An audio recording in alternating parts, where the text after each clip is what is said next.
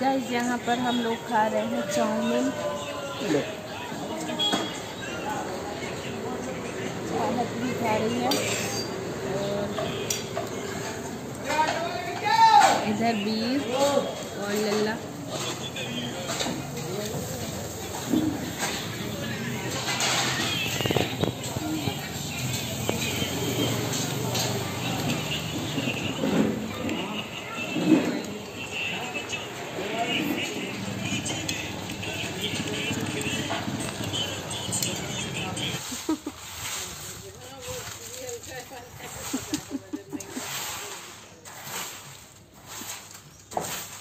चाहत को बिल्ली के बहाने चढ़ा दी जगह के।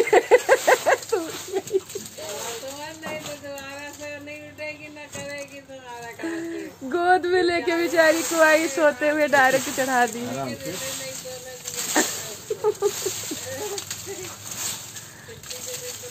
बिल्ली को इतना मानती है कि बिल्ली के लिए सोचो चली गई ऊपर।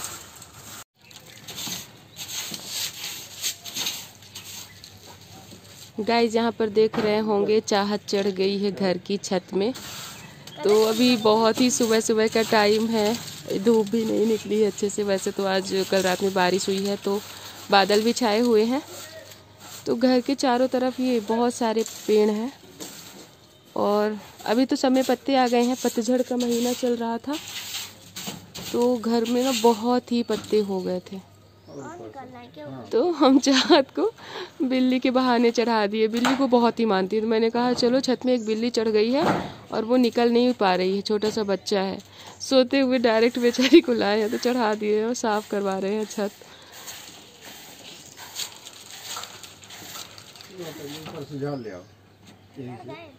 हाँ चली जाओ ऊपर तक थोड़ा। अरे हाँ पीछे तुम्हारी जो है, ऊपर जो है, ऊपर वाली लाइन पे। हाँ यहाँ। सबकी छतों में बहुत है। मेरा थोड़ा नीचा पड़ता है तो इसमें सब आके यहीं पे टिक जाता है। सो so गाइज़ अभी मैं आ चुकी हूँ पार्लर। तो सुबह जो आप क्लीनिंग वाला वीडियो देखे हैं, छत की क्लीनिंग करवा रही थी मैं तो उसके बाद मैं कोई भी वीडियो नहीं शूट की थी।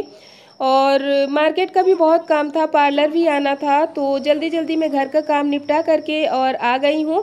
तो अभी मैं करवा रही हूँ थ्रेडिंग और इसके बाद करवाऊँगी हेयर कटिंग ब्लीच फेशियल तो प्लीज़ आप लोग वीडियो में अंत तक बने रहिएगा, जब ही तो आपको पता चलेगा कि मैं पार्लर से निकलने के बाद कैसी दिखती हूँ, क्या बदलाव मेरे में दिखता है। और अभी मार्केट का भी बहुत सारा काम है तो प्लीज़ आप लोग अंत तक वीडियो देखिएगा फुल वॉच करिएगा।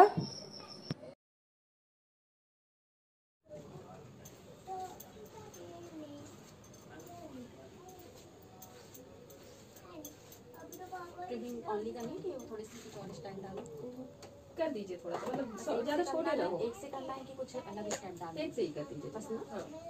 क्योंकि अपन थोड़ा सा लुक चेंज करो अच्छे लगता है। जैसे यूट्यूब में करवाने आपको तो लेयर में चल रहा नहीं मुझे फिर थ्री स्टेप ही करवाना है पर मैं सोच रही हूँ अभी मत करवाओ। अभी और लॉन्ग हो जाए फिर करवा नहीं तो उसमें कोई लॉन्ग की मतलब वो नहीं रहता।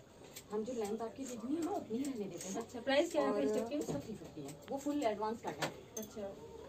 उसमें क्या होता है जो आपकी जितनी लेंथ है ना हाँ। ये कम नहीं होगी और पूरे स्टेप आ जाएगा अभी तो पड़ोस में है। हाँ।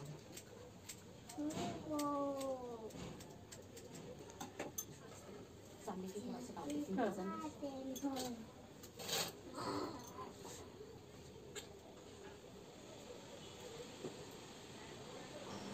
सो गाइज़ पार्लर से निकलने के बाद अब मैं यहाँ पर आ गई हूँ चाहत के लिए स्कूल बैग लेने और अभी भी और मुझे मार्केटिंग करना है, सब्ज़ी मार्केट जाना है। सो so गाइज़ हम लोग आए हुए हैं सब्ज़ी मार्केट यहाँ देखेंगे। बहुत भीड़ है सब्ज़ी मार्केट में। आनब तो हमारी गोद में ही सो गया है, आनब। आनब, गोद में सो गया है। चलिए बैक कैमरे से मैं दिखाती हूँ कितनी भीड़ लगती है सब्ज़ी मार्केट में।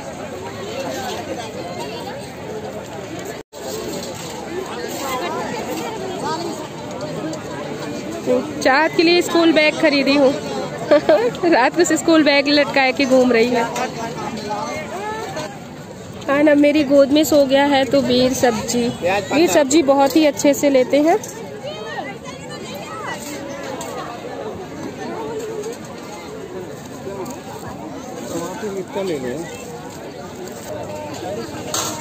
पचमढ़ी में गुरुवार की बाज़ार में देखिए किस तरह की भीड़ है बहुत भीड़ रहती है मैं तो कभी कभी आती हूँ भीड़ ही हमेशा आते हैं हाँ करेली है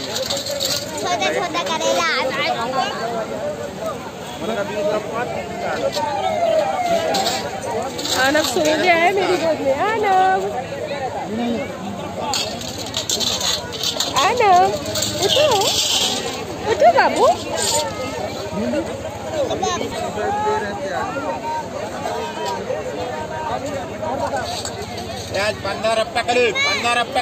सो गाइज़ अब मैं आ गई हूँ घर में तो ये देख लीजिए मैं पार्लर गई थी तो थ्रेडिंग करवाई। मैं थ्रेडिंग ना बहुत दिनों बाद करवाई हूँ।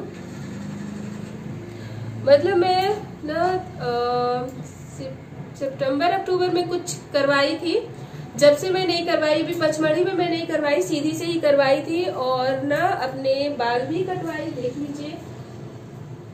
शायद है कि लेंथ थोड़ी छोटी हो गई होगी। और कभी कभी ना चाहते हुए भी कुछ चीज़ें हो जाती है। तो मैं नहीं चाहती थी कि ये वाले मैं अपने हेयर कटवाऊं। बट ऐसा हो गया ना कि वो पार्लर वाली जो दीदी थी तो वो मतलब उन्होंने बोला, इसको काट देती हूँ अच्छा लगेगा और मैं कटवा ली। अब मेरी चाहत बोल रही है कि, मम्मा, ये फालतू में कटवाइए नहीं अच्छा लग रहा है। आप लोग बताइएगा कि कैसा लग रहा है। और ये देख लीजिए, मेरे बालों की ना लेंथ भी छोटी हो गई है। मेरे बाल कितने लंबे लंबे थे। बट ठीक है, अगर लेंथ को लेके बैठेगा ना इंसान तो फिर फ़ैशन नहीं कर पाएगा। तो मैंने सोचा, चलो एक बार फिर से छोटे करवा लेती हूँ। तो ठीक है, बताइएगा कैसे लग रहे हैं मेरे हेयर कटने के बाद और कैसे लग रही हूँ मैं? और तो मैंने मार्केट में चाहत के लिए स्कूल बैग लेना था, वो फट गया था तो मैंने सोचा, चलो स्कूल बैग भी ले लेती हूँ। और हमारे देवर जी की शादी है तो उसके लिए भी बहुत सारी तैयारी करनी थी। मतलब चूड़ी वगैरह लेना था मेकअप का सामान था। चाहत के लिए सैंडल वगैरह लेना था मतलब बहुत काम था। तो मैंने हर जगह की वीडियो नहीं शूट की है, बस कहीं कहीं की की है। मतलब होता है ना कि हर जगह मोबाइल लेके उठा के खड़े हो जाओ, नहीं अच्छा लगता है। तो मैंने कहीं वीडियो शूट कर लिया, कहीं नहीं किया है। और, इसके बाद सब्ज़ी मार्केट गए। ठीक है, फिर अब आ गई हूँ घर में तो अभी तो रात के मालूम नौ बज रहे हैं। बहुत लेट हो गया मार्केटिंग में बहुत टाइम लग गया पार्लर में भी बहुत टाइम लग गया। और अब मैं पहले अभी चाय बनाऊँगी और तो ये इसको बना दो इसको बना दो ये बहुत नीचे तक आ गया। तो चाहत बैग भी पैक कर ली है। ये देख लीजिए आते ही अपना बैग जमा ली है चाहत। चलो ले जाता है इसको कल मैं इसको भी लेकर चली जाऊँगी। चलो, इसको रख हो मेरा फेवरेट मेरे यहाँ इतना शोर होता है एक तो घर के बगल से ही मेन रोड निकली हुई है महादेव के लिए।